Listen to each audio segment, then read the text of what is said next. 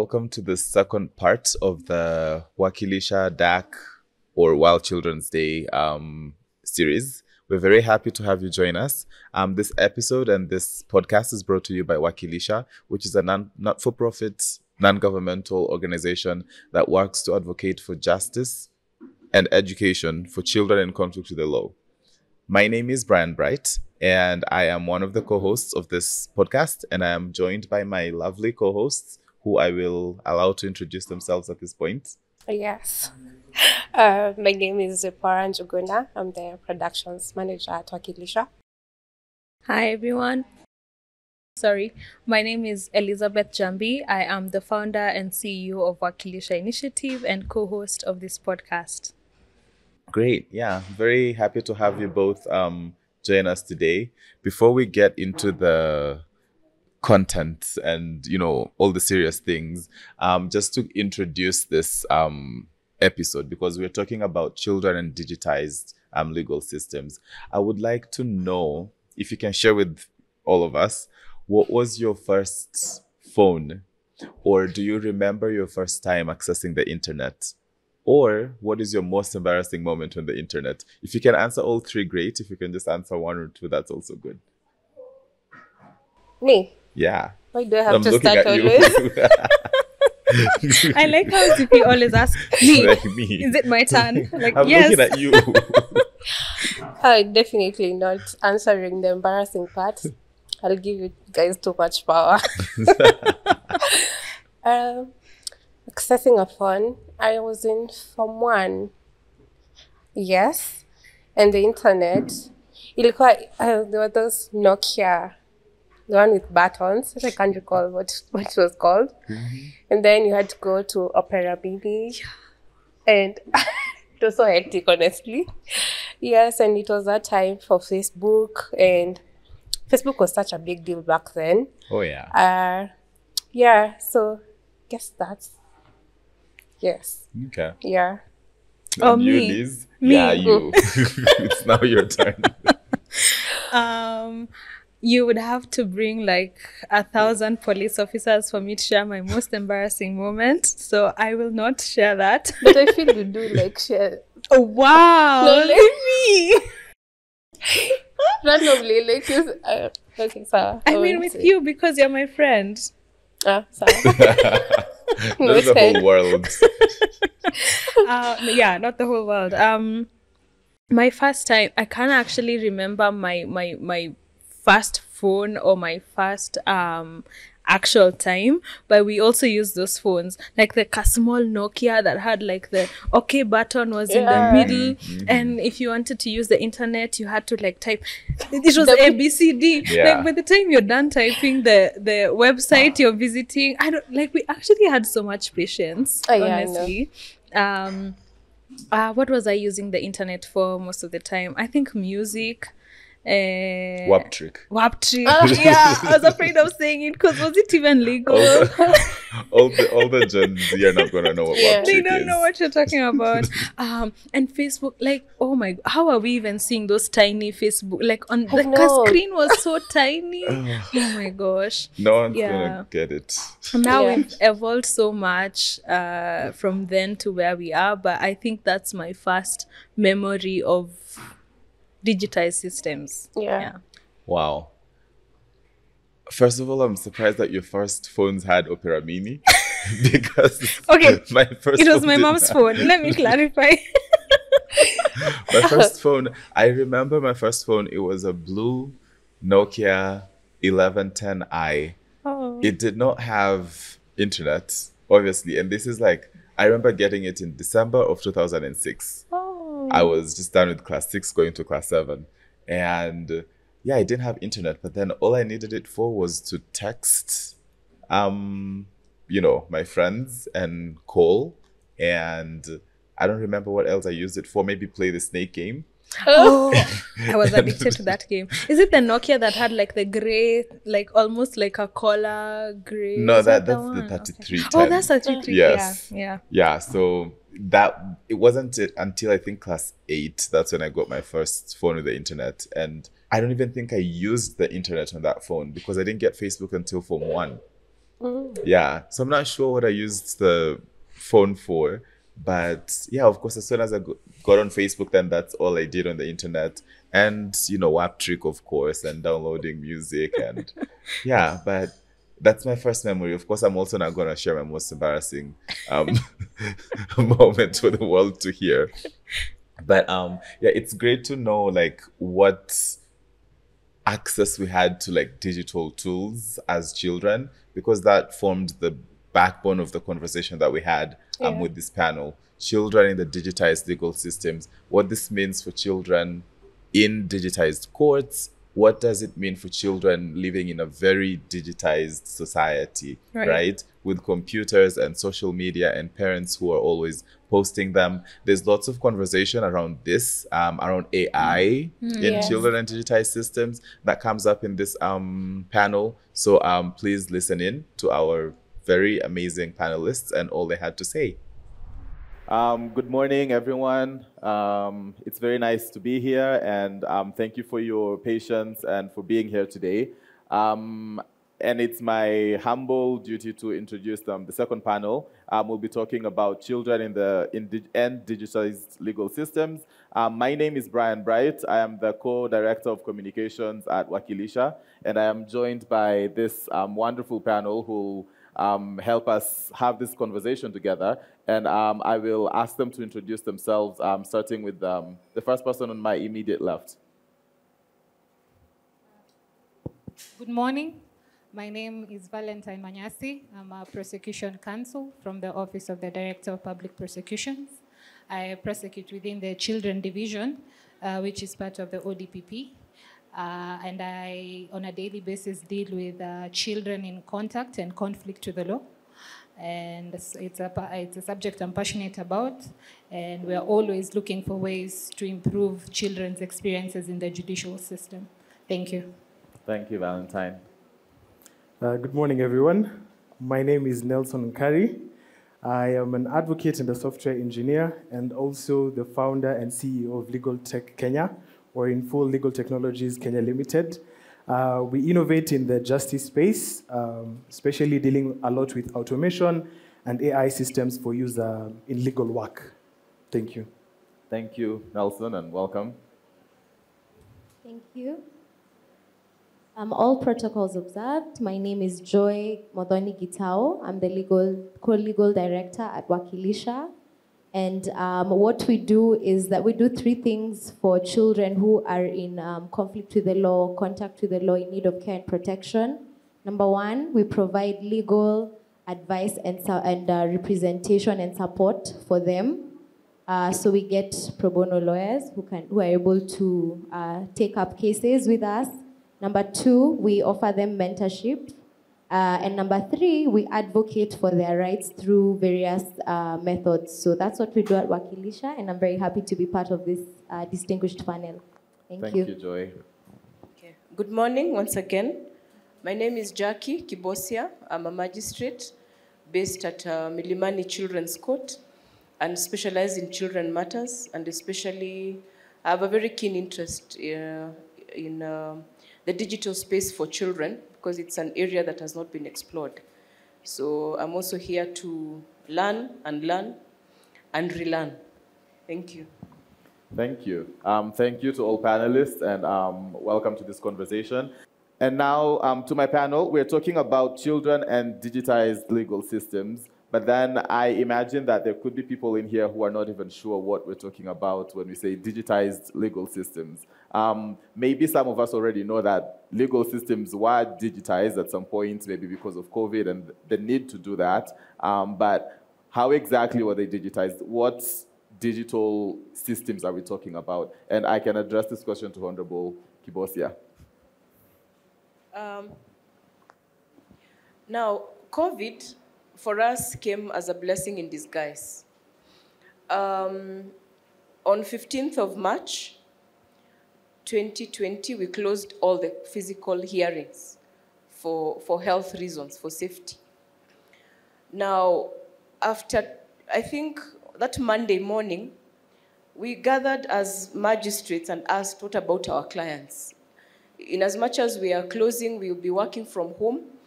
How will our clients access justice? If, for instance, a child is uh, defiled on Monday morning, where will they go to? That question disturbed us, and for some strange reason, we refused to go home. We decided to have a meeting, as by then I was in Makadara Law Courts, and we asked a very, um, we asked ourselves questions. What about those in, in, in prison, for instance? Do, do, do, they, do we need to reach out to them? What, what does Article 50 mean during this uh, pandemic? So we had a meeting, an emergency meeting, and came up with what we called COVID rules, COVID practice directions that were adopted by the NCAJ as official rules that uh, originated from Makadara law courts because we refused to close the court. We got into our cars, then we realized no, we cannot just leave uh, our clients. So we had to go back and had an emergency meeting. The first virtual court was launched on 16th of March in Makadara law courts in a criminal setup.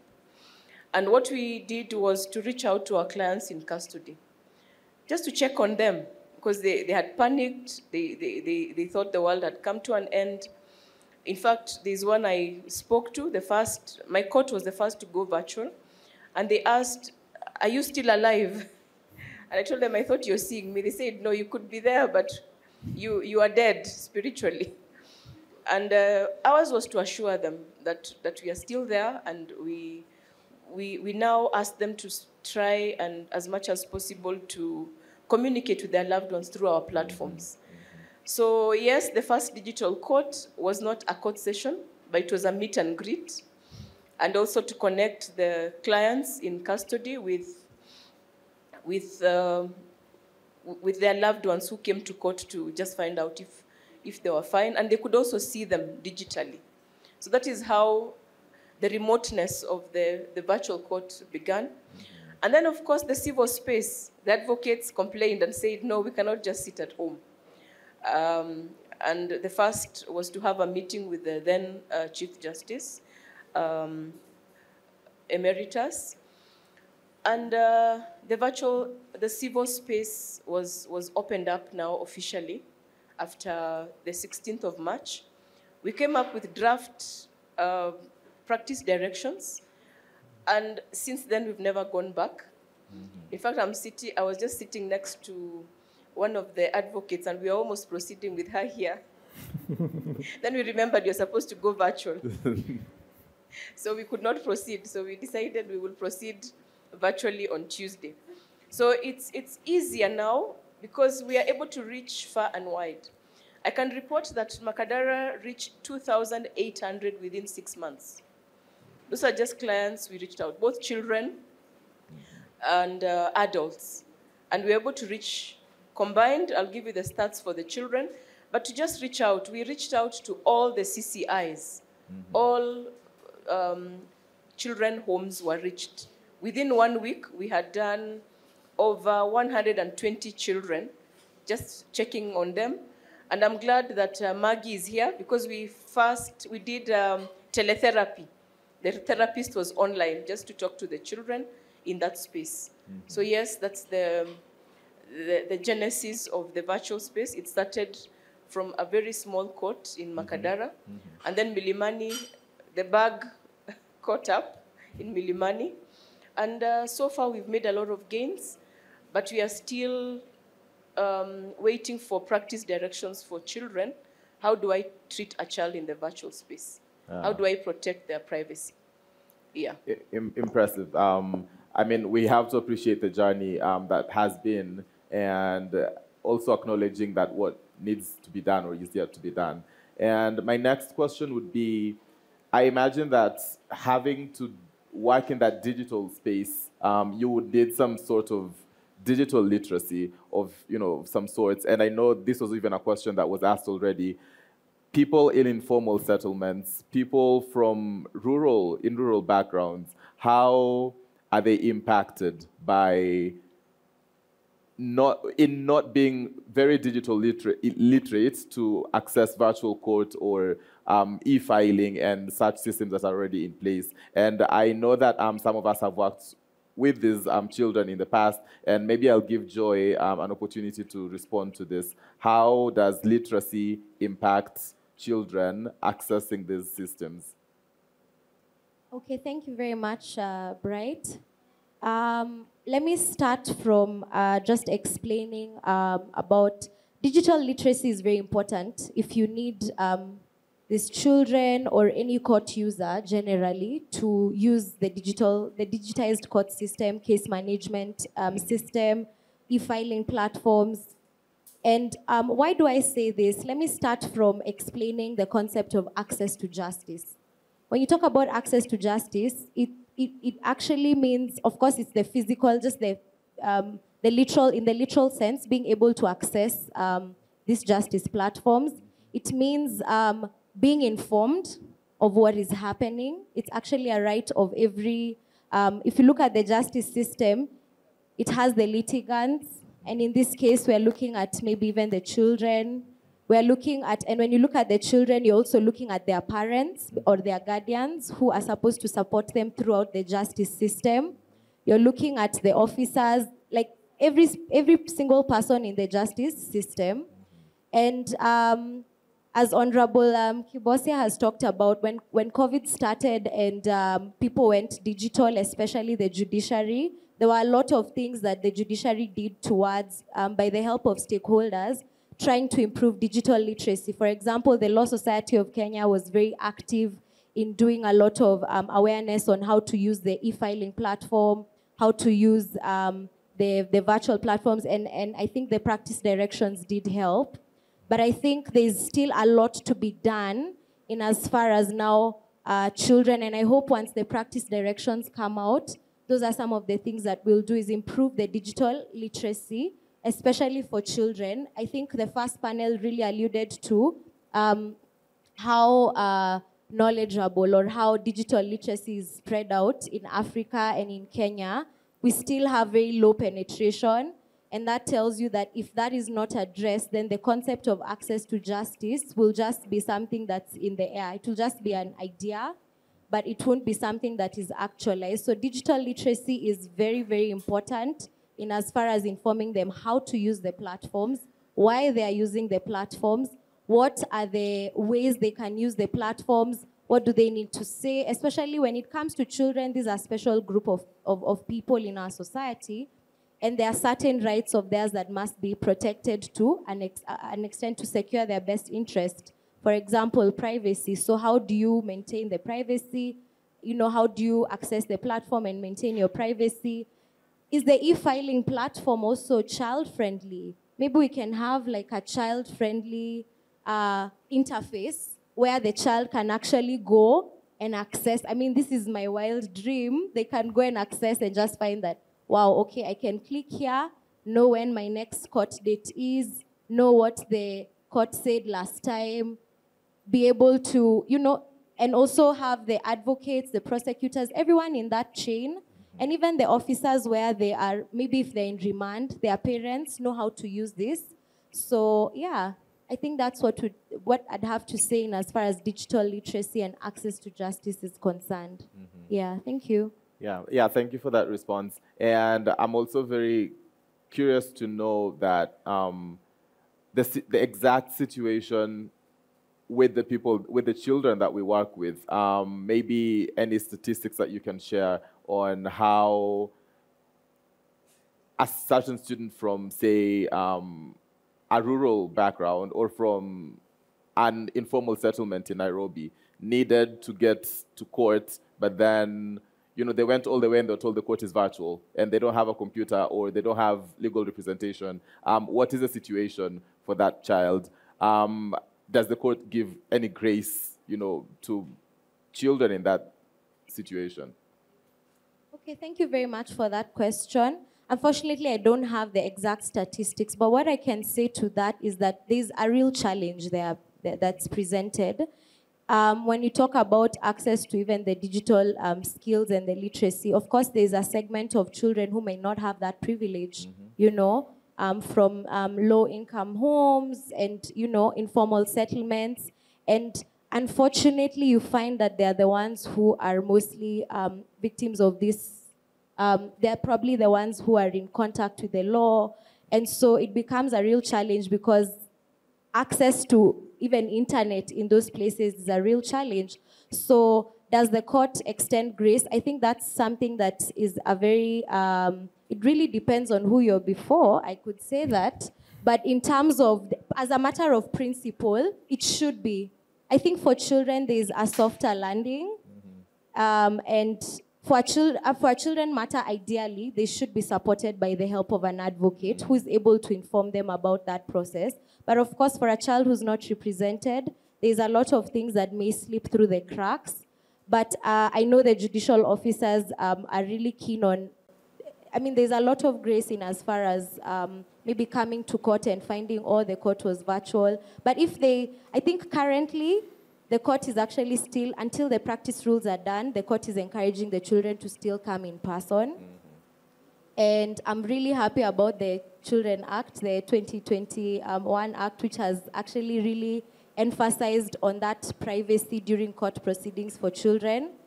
And that if, uh, you know, the children courts aspect, so even the people in that court are very well trained or should be trained on aspects to do with um, how this child would come into the court, what they should be informed of, and so on and so forth. Yeah, that's what I can say, unless uh, my fam- fellow panelists have specific. How would you say, how child friendly are these systems? Um, thank you for the question. I think um, where we are coming from as of now is from a place where we want to, um, first of all, establish um, these systems and make sure they're in place and make sure they're actually achieving uh, what we want them to achieve. Um, key to which is actually access to justice. And um, there are very many aspects of access to justice, as uh, Joy mentioned. And um, I would like to go back first to digital literacy uh, because there's, there's three pillars of digital literacy. Um, there's your ability to find the information that you're looking Right. for. So, uh, assuming um, I have a matter uh, before court, but I am not able to find this information, that is one, as one pillar of digital literacy that I have already failed at, or that this system that we have put in place has already failed me at. And um, another consideration that we also have to put in place is um, cybersecurity for, for this accessibility of this, or your ability to find these um, systems. Because um, sometimes you might find that uh, the systems have been compromised and whatever you are accessing is not actually what you're supposed to. You've been redirected to um, a malicious website and you're completely not aware that you're actually in a completely different location from where you're supposed to be. And perhaps you're even giving out your own private information to these malicious people, and we don't know what they're going to do with this information, but we can always assume that it's not something positive. Um, the second pillar of this is um, your ability to evaluate. So, are we building these systems in such a way that um, when I find them, I am able to evaluate and say to myself that this is actually where I'm supposed to be?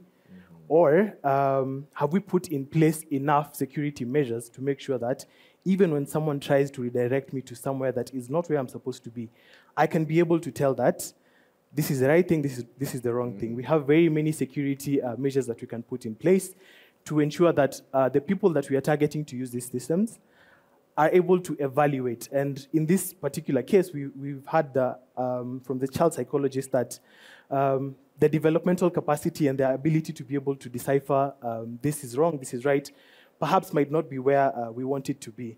And so that's an, another consideration that we have to put in place, uh, even as we think about um, the evaluation capability of adults. Then we also have to take into consideration the evaluation cap- capabilities of children and build that into these systems and make sure that we are adding this extra layer of protection. Then finally, it's um, communication. So um, once you've found it, once you've evaluated it, are you able to communicate? Do you understand? So are we using language that um, allows them to interact with these systems? Is it difficult? Is it presented in a way that um, is not friendly to them?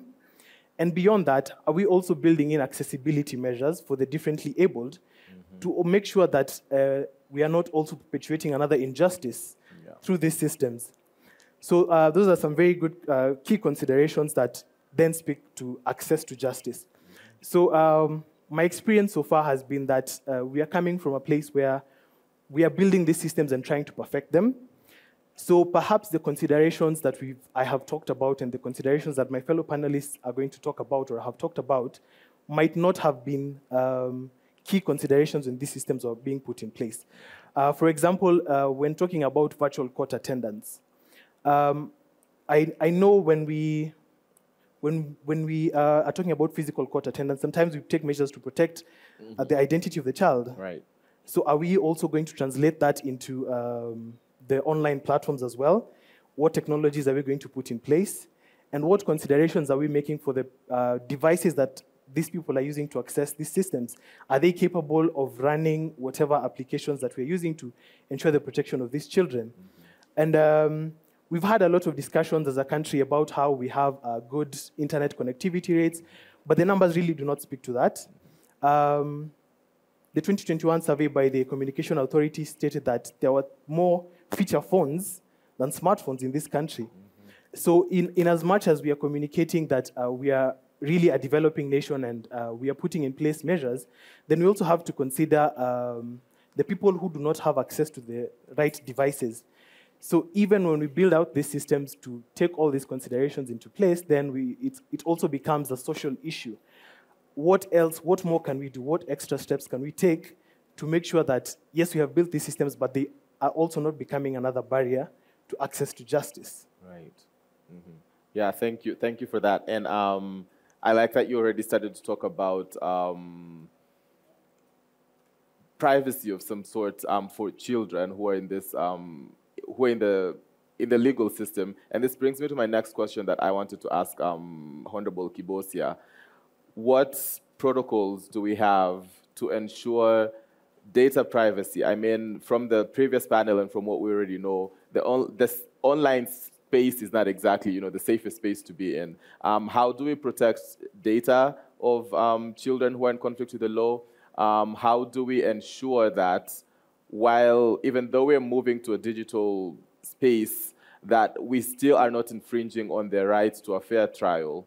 And lastly, and this is just to merge it with a question that we received here, how do we take care of criminal records? Because we know they're not expunged and there are children involved. Um, how do we take care of you know their criminal record in you know on the online cloud or in whatever um, management management systems we are using? How do we maintain that that data relating to these children is private and is not accessed or accessible by how do we protect it in short Now, uh, what we agreed with um, is uh, we looked at other jurisdictions. We did a comparative study and realized that you cannot force parties to join online.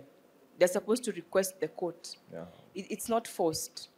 Um, during pre-trials, both civil and, um, and, and criminal, especially criminal, we um, civil is easy because the checks and balances are not as many compared to a whole Article 50. The parties must request during pre-trials. We want to do it virtually. Because then if you force on the parties, the next thing the accused person will say, I, I didn't hear the court. The, it went off. I was forced onto the platform. That, again, we realized that would um, go against Article 50 on, on fair hearing and access to justice. So we allow parties to request that they want to go virtual or not. That is in the criminal space. In the civil space, I mean, majority of them, advocates prefer um, virtual, unless one or two would say, I would like to come physically. And I think because they had missed the court, one of them told me, I have just missed being in that building. So, and of course, that's not a reason why you should come because we're encouraging you to go virtual. right So for the children, we have a general link. If you go right now to Milimani Local Children's, um, the, the cause list, you'll find my link. So what I have done, that is my own innovation, is if when a child wants to talk to me virtually, like I talked to one in the UK, what we did is we created a link within a link. Mm-hmm. And I demanded that I get to see a 3D view of the room where the child was, mm-hmm. just to ensure that that child was there alone. alone So we did we did a, a hybrid, we did a screen where I'm able to see the entire room so that there's no one else in that room. That was the first check. Because I realized we needed to interview the child. They needed to decide whether they were coming over for summer holidays or not.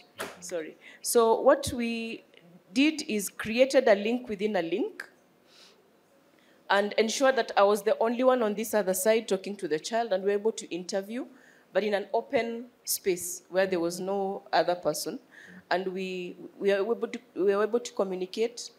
And then we have also told ICT not to uh, release any recordings of that child. So it is censored. So if, if, if I want that recording, then I must get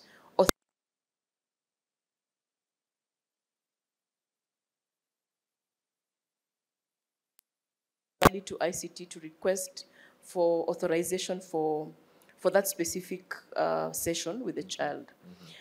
Um, another thing that we do is we ensure that all children, especially if they're in conflict with the law, they do not turn on their cameras. Yes, and they don't talk to us in open court. They can listen to the advocate, they can listen to the court, but they can only access the listening part of it. If the child feels I need to talk to the court, then the person, especially YCTC, I'm glad they're here, they would do a, a message, a chat message, and say the child is okay to talk. Then, of course, then I will create another link within the link for just the prosecutor, the advocate, myself, and the child. Then we avoid the, the public getting to meet the child online. So that is what we do. And then also, um, the other issue is uh, that you say data, the, the information about the, the children. Yeah. We the- code, we code, like even in civil matters, we do not tell you the name of the child. We mm-hmm. would put initials, we'll initialize all our proceedings. Mm-hmm. And also when we do the, the e-judgments mm-hmm. and, and, and read them out, we also try as much as possible not to mention the, even the parties. We've gone to the extent of not mentioning the names of the parties because when I say Brian Bright, of course, if you have a custody case, everybody will know it must be Brian. So we'll say BB versus, you know, that is what we would do. So we've gone ahead to also protect the identity of the of the parties, not just the children but also the parents, because in that the the whole family is protected. Yeah. Okay, thank you. And um, while we're also still talking about online crimes, and um, the previous panel did speak to this a little bit. Oh, yes, yes, please. We last week we had a meeting to develop an app. Yes, so the good news is that there's going to be an app where children don't have to log in. Uh, if they want to talk to the court, they just need to, uh, to download the app. So we, we want to see how AI can help us to ensure that it's just that one child by giving them an identifier that, that only that child would have. So they will just have to download the app and then they're able to, to talk to the court. And then also for the civil space, I'm glad some of the advocates are here. We are also developing a co-parenting app where if parties don't want to talk to each other, you can get the schedule for the whole year. If it's ah. Parents' Day, you get it online. then you get to tick whether you're attending or not. Yes, so that information will be shared to the to the to the parents. So yes, a co-parenting app is loading, and maybe we might need your expertise to see how we can make that work. So you can go to Apple Store and download our co-parenting app. Okay. And that was the innovation by yours truly. well, well, yeah, co- congratulations to you and, and the team. And I will actually hold the question that I had initially so that we can talk about AI um, a little bit. Um, obviously, everybody's talking about artificial intelligence and everyone's using it, you know, whether it's at school or at work, you know, to write your emails and um, to paraphrase things. Can we leverage AI in digital, um, leg- digitized legal systems? Should we even dare do it? Um, you know, what are the pros and cons? And yeah, this is very much a Nelson question. Um, I think there's different ways of looking at the usability of AI? What, what are your intentions? What do you want to use it for? Um, as the Honorable Kibosia has mentioned, uh, there, there is one way they are trying to use AI in, in their system, but broadly, people are using artificial intelligence for information. Mm-hmm. I want to know something, or I want to put down this information in a particular manner. Mm-hmm. I think that's the most widely used case of uh, artificial intelligence Yeah. at this moment in time. So, um, when it comes to especially using it in, in legal procedures, I, um, it's a very sensitive issue. And it, I think it also applies to other things like the medical field as well, because of the potential consequences if AI gets it wrong. Um, so AI is built on data, on large data sets. So where are we getting this data from? Um, we recently uh, developed our own AI application, and our source of information was primarily Kenya law. That was um, the database that we used to get access to hundreds of thousands of cases. And so, um, one of the things that we look for in artificial intelligence is to understand where did you get your information from? Is it a credible source? And um, if you are asked to open up um, your database, are you able to do that? Are you able to show us that truly whatever you say is the foundation of your artificial intelligence program is actually um, what you say it is? Or are you lying to us? Then um, another phenomena that we have is what we call uh, black box AI. It's where you're not able to explain how a decision has been arrived at by your artificial intelligence program. So it's most commonly happening in uh, deep learning systems. So it's whereby you just feed them data and they're able, based off of a few examples, the AI is able to learn and then uh, reproduce results. So when AI, when you're not able to tell us um, this is how the AI arrived at this decision, then it becomes a problem because we lose the verifiability of this decision. Because if I'm able to tell you this is the thought process of my AI, it, let's say it took this case, it also took this case, did a comparison, and told you this is what you, you should expect, then th- that data is verifiable because that, that's also the procedure I will go through as an advocate uh, when I'm going through my case law to try and write my submissions and all that. So essentially, it all comes back to data. Um, how accurate is this data? How well was it pre-processed?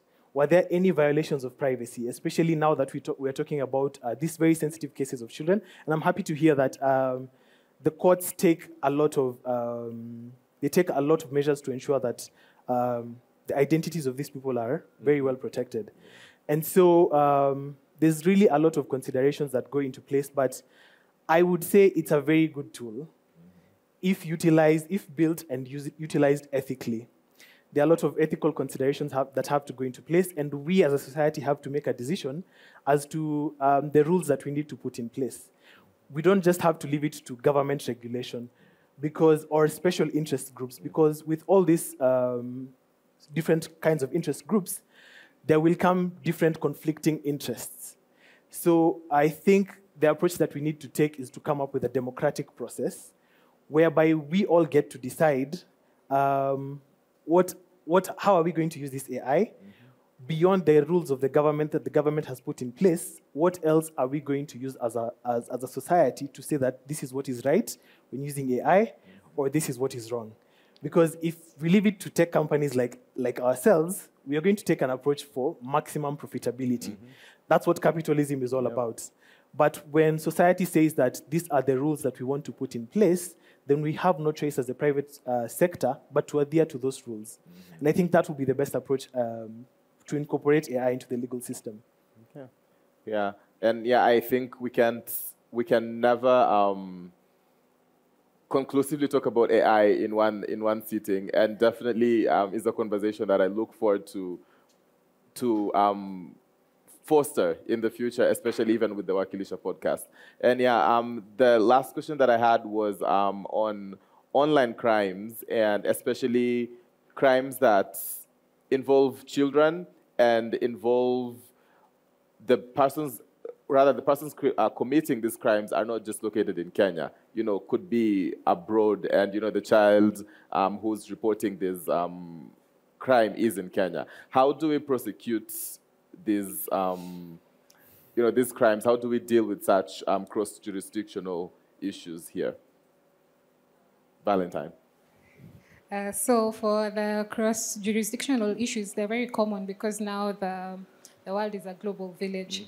So uh, what what happens is uh, we utilize mutual legal assistance and extradition in some of these cases. Uh, mutual legal assistance is uh, the cooperation between states or countries to ensure that there is exchange and sharing of information.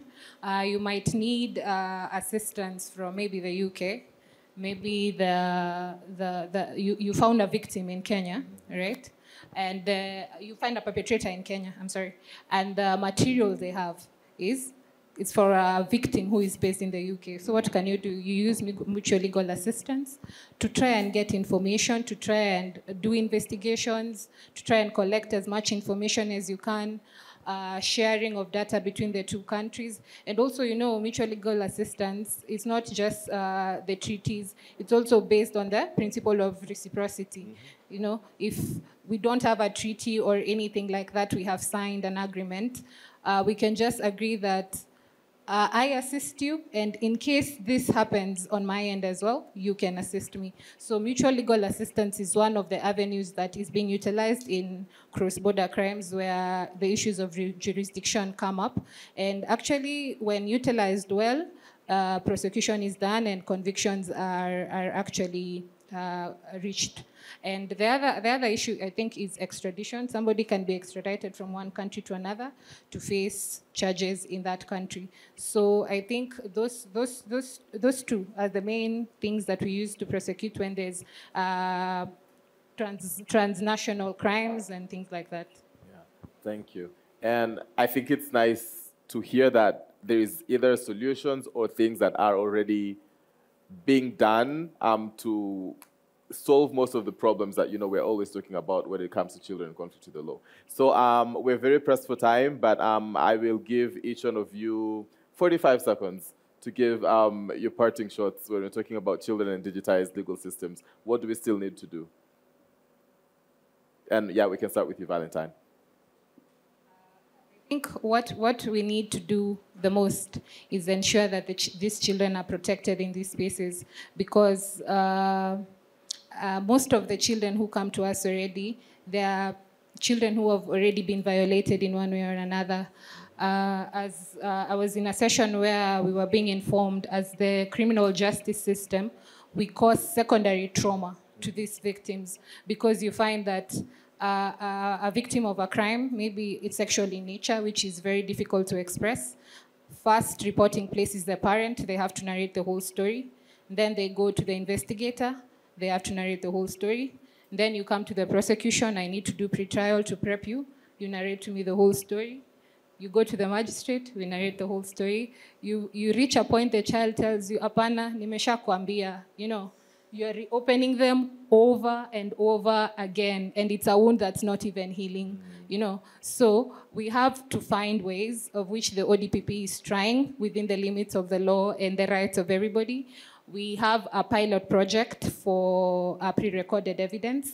We want to try and see, is there a way we can pre-record this evidence so that all these justice actors, we can get the story all at once. We don't need to cause secondary trauma to the victim over and over again.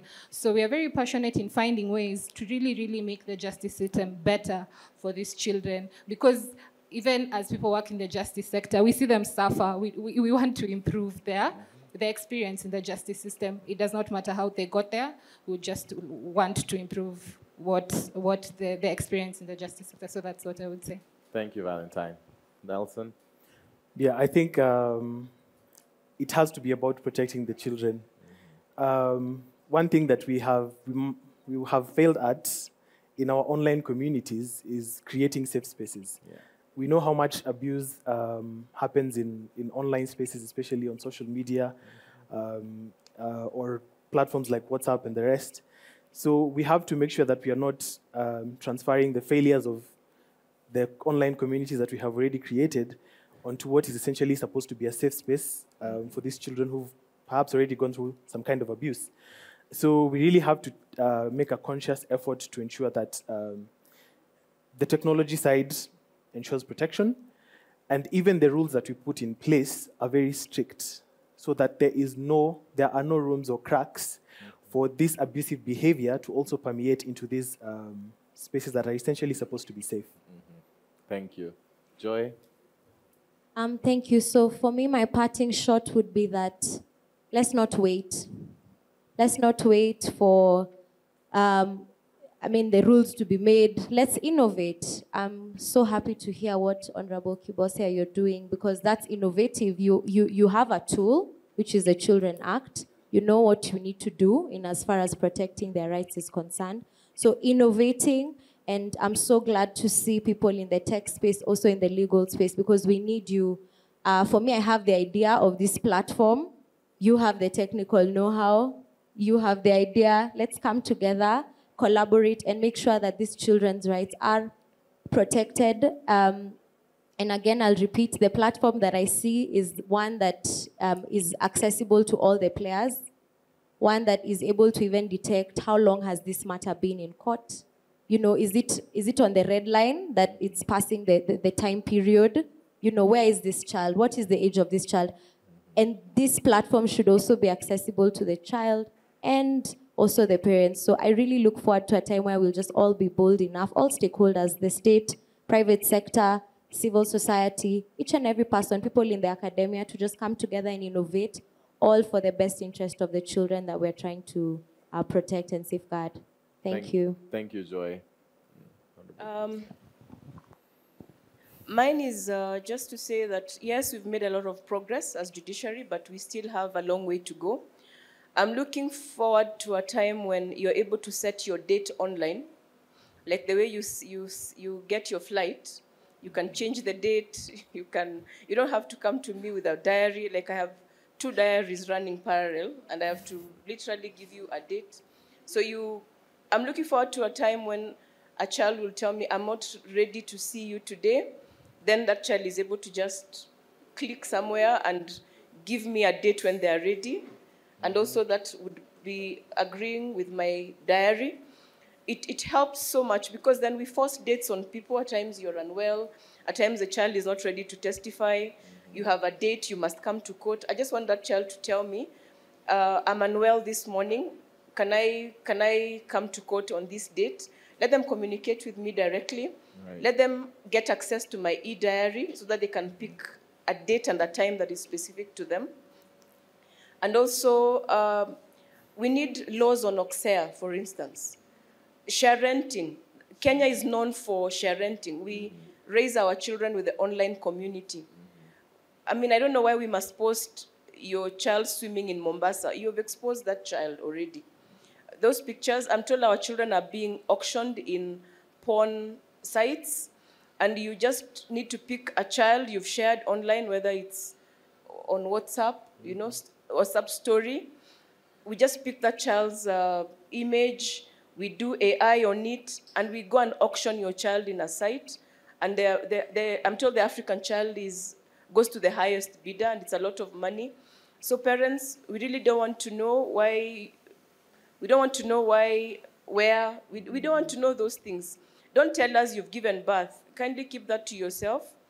You, you, you can maybe don't tell us. I mean, we've been waiting for you to give birth to come and steal that child. So we even know the hospital, Aga Khan, here I come.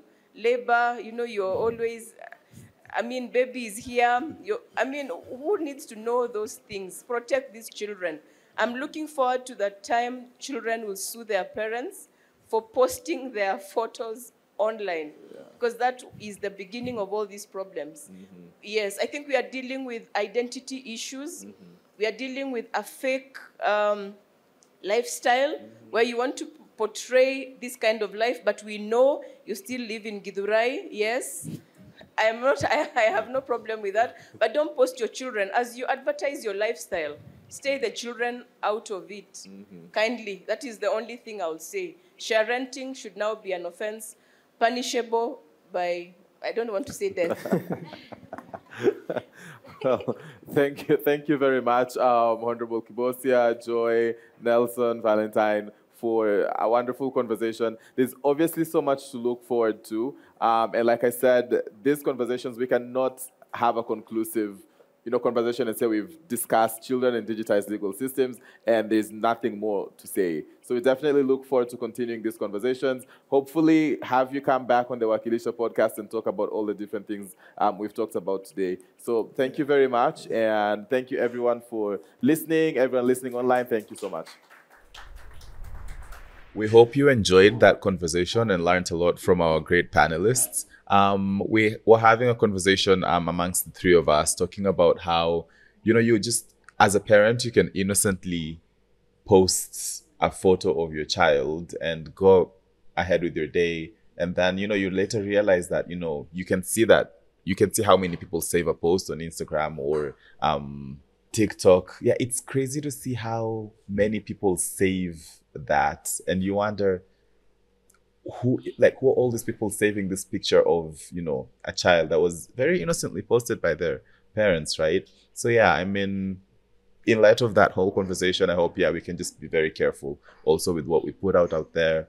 Um yeah especially with with children right? Yeah. yeah. But yeah we hope you did enjoy that conversation.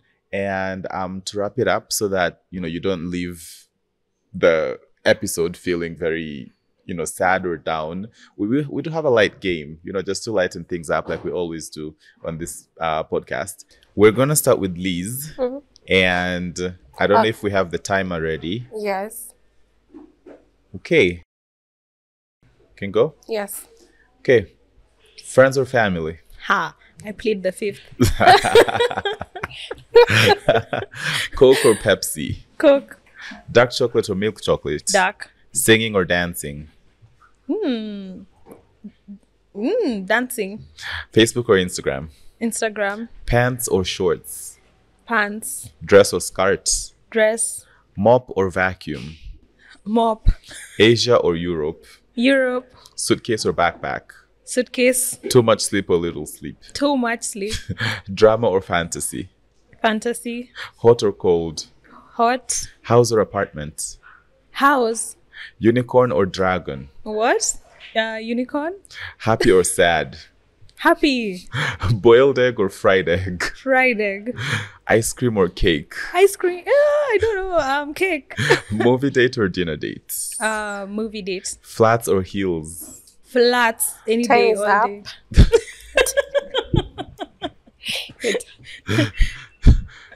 great um Uh, yeah now we can have zippy go again and All right. is the timer ready Yes. okay so basketball or football Uh, oh, football. to give or to receive Uh, to give. burgers or hot dogs Uh, burgers. samsung or iphone iPhone. sausage or bacon A sausage. train or plane A train. coffee or tea Tea all the way. old or new Uh, depends with what, but new. iced coffee or hot coffee A hot coffee. run or bike I don't know even how to ride a bike. So Oh run. my goodness. wings or ribs Uh, ribs. ah cheesy or chili Cheesy. book or movie Movie. pop or reggae Reggae. of course casual or formal Casual. with makeup or without makeup Without makeup. Time is up. okay there we go well yeah we hope you enjoy learning a few things about us as much as you do enjoy um, listening to the podcast um, we do we have come to the end of this um, second part of the series um, of course if you would like to keep up with wakilisha more you can follow us on instagram facebook twitter tiktok uh, LinkedIn. linkedin. It's wakili.sha or wakili underscore sha on twitter.